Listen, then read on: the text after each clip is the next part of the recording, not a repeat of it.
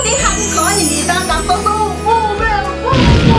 คลิปนี้นะคะทุกคนเราก็จะมาพูดถึงการเลี้ยงสัตว์ตัวเดียวนะคะเหงาไหมแต่ว่าเบลมีตัวอย่างนะคะ นั่นก็คือหนูดัมโบของเบลนั่นเองนะคะเป็นความโดดเดี่ยวเดียวดายนั่นไหมดูเขาน่าสงสาร ละค่ะ ก็เลยเป็นที่มาของคลิปนี้นะคะทุกคน ตอนนี้นะคะทะเลเนี่ยก็ได้ผ่านไปแล้วเนอกจากคลิปที่แล้วใช่ไหมคะเขาอาการไม่ดีตั้งแต่ตอนประมาณเที่ยงคืนแล้วแหละคือเขาหายใจทางปากแล้วอะก็มีคลิปด้วยนะ เห็นปะทุกคนคือเขาไม่ไหวแล้วอะคือเบลรู้เลยว่าไม่ไหวแล้วนะคะ เบลกับโอ๊ตก็มาลานะคะ แล้วก็นอนเนาะตื่นมาเขาก็กับดาวเรียบร้อยนะคะดังนั้นเบลก็เลยจะมาทำคลิปบอกนะ เพราะว่า หลาย ๆ คนเนี่ยก็อยากจะเลี้ยงสัตว์ตัวเดียวถูกไหมอาจจะเรื่องของความเชื่องเอยอะไรเอยอะไรอย่างเงี้ยเบลก็เลยจะมาบอกว่าเฮ้ยถ้าเราจะเลี้ยงสัตว์ตัวเดียวจริง ๆ แล้วเรามีเวลาไม่มากพอขนาดนั้นเนี่ยเราต้องทำยังไงบ้างนะคะ แต่ในความเป็นจริงเบลย้ำนะว่าถ้าไม่มีเวลาจริงๆเลี้ยงสองตัวดีกว่านะคะ ความเชื่องอาจจะลดลงนิดนึงนะคะ แต่ว่าเขาจะมีความสุขกว่าอยู่ตัวเดียวเยอะเลยอะทุกคนทำยังไงให้สัตว์ไม่เหงาเมื่อเราเลี้ยงสัตว์ตัวเดียว โอเคค่ะ ไปเริ่มกันเลยกับข้อที่หนึ่งการเอาตุ๊กตาให้เขานะคะ ทุกคนอันเนี้ยเบลว่าหลายคนน่าจะเห็นภูเขาก็มีตอนนี้ใช่ไหมเวลาที่เราจะไปซื้อสัตว์เนี่ยบางทีเนี่ยเราจะเห็นนะคะว่าเขาเนี่ยนอนกอดตุ๊กตาอยู่หรือว่าแบบใส่ตุ๊กตาไว้ให้นะคะ เพราะอะไรก็ง่ายๆเลยค่ะตุ๊กตาเนี่ยยิ่งถ้าตัวขนาดใกล้เคียงกับเขาเนี่ยเขาจะนึกว่าเหมือนเป็นเพื่อนเขาอย่างเงี้ย เขาก็จะไปนอนกกนอนกอดนะเพราะตุ๊กตาก็มีขนนิ่มๆนะคะเขาไม่รู้หรอกว่ามีชีวิตหรือไม่มีชีวิตนะคะ มันก็ช่วยให้เขาอะรู้สึกว่าเขาไม่ได้อยู่ตัวเดียวมากขึ้นนะคะ ก็ไม่เหงานะคะ แต่ว่าตุ๊กตามันก็เล่นกับเขาไม่ได้ไงแต่เบลเห็นภูเขานะแอบลากตุ๊กตาไปไปๆมาๆนะคะเบลจะบอกว่าตอนเนี้ยหูหลุดแล้วนะคะเออเพิ่งเห็นเพิ่งเห็น ตอนแรกไม่เห็นเพิ่งเห็นเนี่ยขอแป๊บนึงนะครับเออเขาอะไปนอนอยู่บนเนี้ย วางอยู่อย่างเนี้ยวางอยู่อย่างเนี้ย แล้วเขาก็ไปนอนอะเหรอ ใช่ เพราะว่าตุ๊กตานี่ใหญ่เกินไปมั้ง บางทีตุ๊กตาก็จะอยู่ตรงนี้ บางทีก็จะอยู่ตรงนี้ บางทีก็จะอยู่ตรงนี้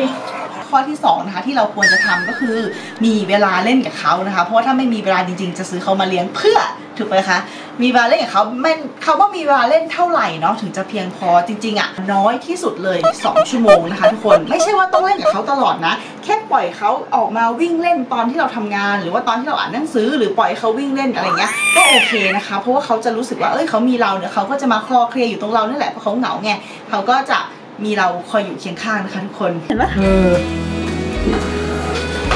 เห็นปะเห็นอยู่มันนอนอยู่บนหูข้อที่สามนะคะทุกคนถึงเราจะไม่ได้เลี้ยงสัตว์เป็นคู่ถูกปะแต่ถ้าสมมติว่าเราอะมีสัตว์ชนิดอื่นๆอยู่ด้วยเนี่ยเราสามารถที่จะให้เขาอะอยู่ด้วยกันได้นะคะ เพราะบางทีเนี่ยการที่เขาได้ยินเสียงสัตว์ตัวนู้นตัวนั้นตัวนี้เนี่ยมันก็จะช่วยให้เขาอะรู้สึกดีขึ้นนะคะ แต่แต่แต่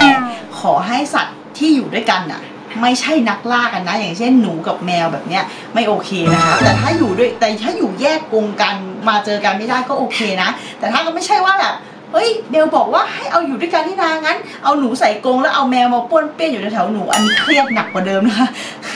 แบบว่าไม่ควรอยู่ยังไม่มีความสุขเลยนะคะ ทุกคนข้อที่ 4 นะคะ ทุกคนคือเอากรงเนี่ยมาอยู่ใกล้ๆเรานะคะ ทุกคนเราอาจจะไม่ได้เล่นกับเขาเราไม่มีเวลาเล่นเนาะแต่ว่าบางทีเราทำอะไรเราดูหนังเราฟังเพลงเราพูดคุยกับคนอื่น เราทำงงทำงานเนี่ยมันจะมีเสียงถูกไหมซึ่งไอ้จุดตรงเนี้ยแหละทุกคนที่จะทำให้เขาเนี่ยรู้สึกอุ่นใจหน่อยว่าเขาไม่ได้อยู่ตัวเดียวอ่าฮะไม่ใช่ว่าแบบว่าเราอยู่ห้องนี้แล้วเอาเขาไปอยู่อีกห้องนึงซึ่งเงียบมากๆเลยอยู่ตัวเดียวเหงาหงอยเศร้าซึมอันนี้เครียดนะคะ ทุกคนไม่โอเคเนาะต่อมานะคะข้อที่5นะคะทุกคนซึ่งเป็นข้อสุดท้ายนะคะเร็วไปไหม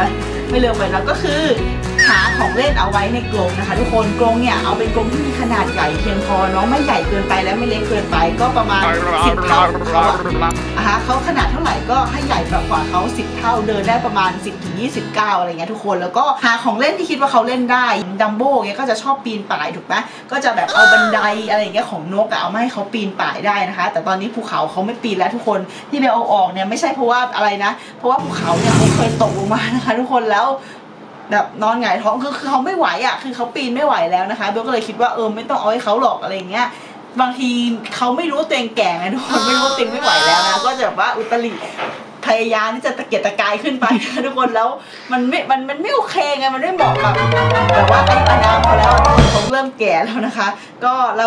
ตัวเราเป็นคนเลี้ยงเราก็ต้องดูแลเรื่องตรงนี้นิดนึงเนาะเบลก็เลยยกออกไปเลย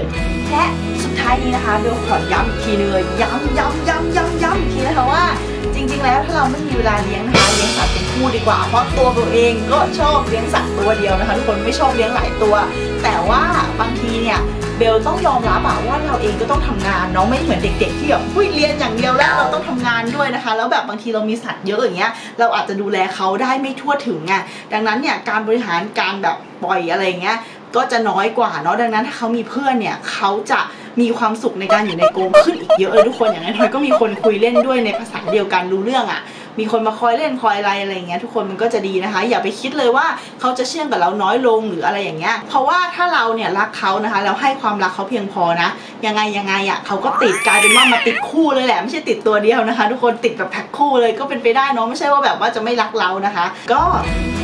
ยังไงเบลก็ขอให้ทุกคนนะคะร่วมไว้อาลัยทะเลไปด้วยกันนะคะ ทุกคน เนาะเดี๋ยวขอ RIP แดดทะเลสงบสักสิบวินาทีนะคะทุกคน